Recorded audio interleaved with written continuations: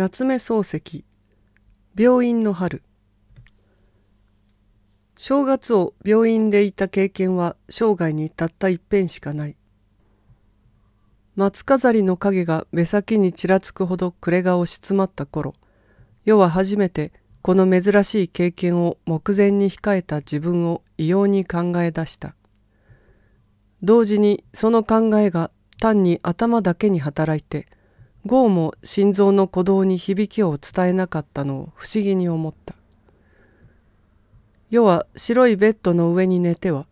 自分と病院と来たるべき春とを核のごとくひとところに結びつける運命の水郷さ加減を年頃に少量した。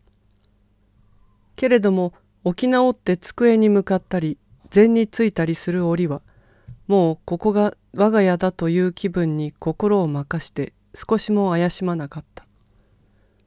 それで年は暮れても春は迫っても別に考えというほどのものは浮かばなかった。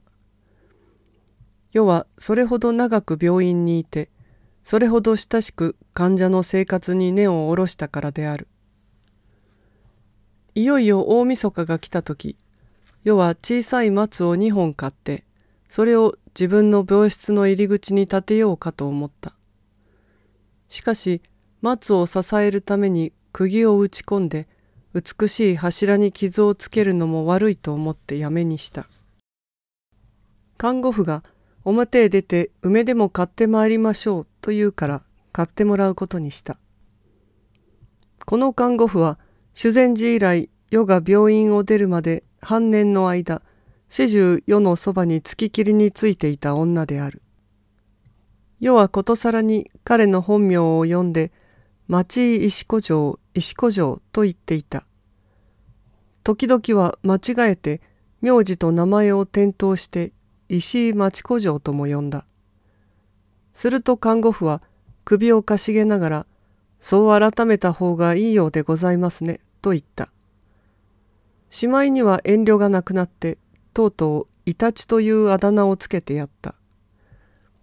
ある時何かのついでに時にお前の顔は何かに似ているよ、と言ったら、どうせろくなものに似ているのじゃございますまい、と答えたので、およそ人間として何かに似ている以上は、まず動物に決まっている。他に似よったって容易に似られるわけのものじゃない、と言って聞かせると、そりゃ植物に似ちゃ大変です、と絶叫して以来、とうとうイタチと決まってしまったのである。イタチの町井さんはやがて紅白の梅を二枝下げて帰ってきた。白い方を蔵卓の竹の絵の前に刺して、赤い方は太い竹筒の中に投げ込んだなり、袋戸の上に置いた。この間人からもらった品水仙もくるくると曲がって伸びた葉の間から白い蚊をしきりに放った。町井さんはもうだいぶん病気がよくおなりだから明日はきっとお雑煮が祝えるに違いないと言って世を慰めた。除夜の夢は例年の通り枕の上に落ちた。こういう体感にかかった挙句病院の人となっていくつかの月を重ねた末雑煮までここで祝うのかと考えると頭の中にはアイロニーというローマ字が明らかに綴られて見える。それにもかかわらず、勘に絶えぬ趣は少しも胸を刺さずに、44年の春はおのずから南向きの縁から開け離れた。そうして町井さんの予言の通り、形ばかりとは言いながら、小さい一切れの餅が元日らしく病人の瞳に映じた。世はこの一杯の雑煮に自家登場を称すある意義を認めながら、しかも何らのシミも感じずに、小さな餅の切れを平凡に、かつ一口にぐいと食ってしまった。2月の末になって病室前の梅がちらほら咲き出す頃、世は医師の許しを得て、再び広い世界の人となった。振り返ってみると、入院中に世と運命の一角を同じくしながらついに広い世界を見る機会が来ないで亡くなった人は少なくない。ある北国の患者は入院以後病勢が次第に募るので付き添いの息子が心配して大晦日の夜になって無理に郷里に連れて帰ったら記者がまだ先へ着かないうちに途中で死んでしまった。一間置いて隣の人は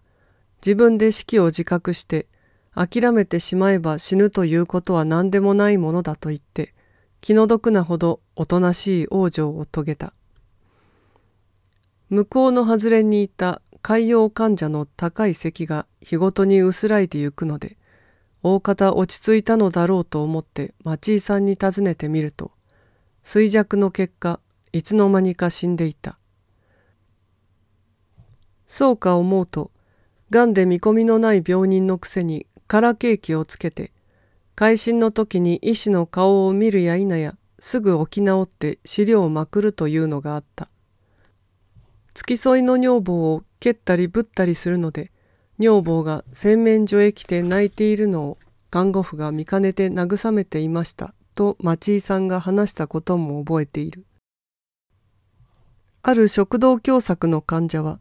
病院には入っているようなものの迷いに迷い抜いて急天使を連れてきて急を据えたり海藻を取ってきて煎じて飲んだりしてひたすら富士の岩礁を治そうとしていた。世はこれらの人と一つ屋根の下に寝て一つまかないの給仕を受けて同じく一つ春を迎えたのである。退院後一ヶ月余りの今日になって過去を一つかみにして目の前に並べてみるとアイロニーのイチゴはますます鮮やかに頭の中に捻出される。そうしていつの間にかこのアイロニーに一種の実感が伴って二つのものが互いに転面してきた。イタチの町井さんも梅の花もシナ水仙も雑煮もあらゆる尋常の形種はことごとく消えたのにただ当時の自分と今の自分との対象だけがはっきりと残るためだろうか。